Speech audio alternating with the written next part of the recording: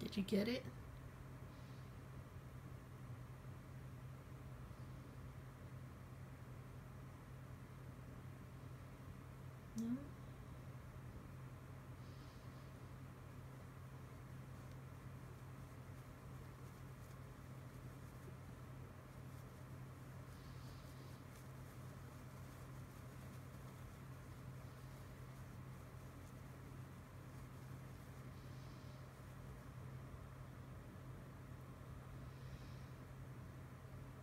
Can't get it.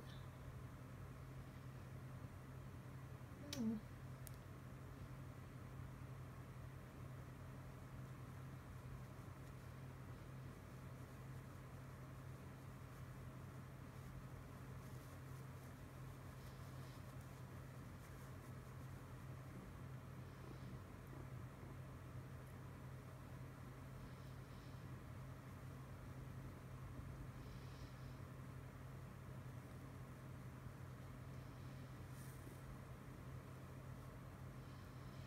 Maybe next time.